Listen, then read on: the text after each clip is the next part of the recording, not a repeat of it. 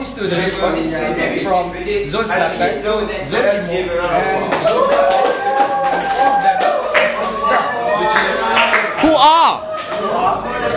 Firdaus bin Kauya, Ah. Ahmad Hafiz bin Bazlan, Uh, Aiman bin Ahmad Razaini, okay. including me. Yeah. All prefects. Yeah. Uh, the participants were mainly uh, were from uh, house captains to the head of uh, hostel. Aha. So from this program, Louder. this program, Louder. from this program, Yeah. Good. we were mainly exposed to hostel management. Ah. Uh, we are taught on how to uh, hand, uh, handle documents for the upcoming program AAT Anugerah Asrama Terbilang and also Anugerah Sistem Rumah Terbilang ASRT. Uh, apart from that, we were also taught on how to handle formal programs such as the annual open day and also fine dining. The most important thing I learned was oh, the most. Straight away, the most.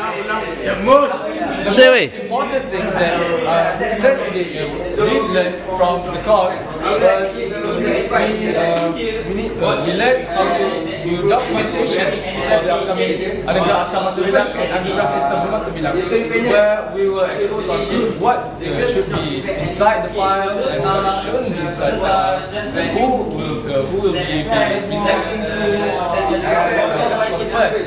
Secondly, about uh, formal programs such as open days, we were taught on how to manage big programs. Who will be the, who will set up activities, who will go to manage the closing ceremony, and so on. As a result of As a result of this course, it is it is very important. no, as a result of this course, As a result of this year's Hari Terbuka this year's Hari Terbuka and what? As a result of this course, this year's Hari Terbuka that was held at Sekolah Tun Fatimah was a blast.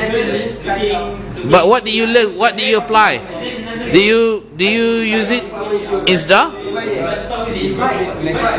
Or oh, next year? Oh, okay, okay. Right. And next we will talk on how to do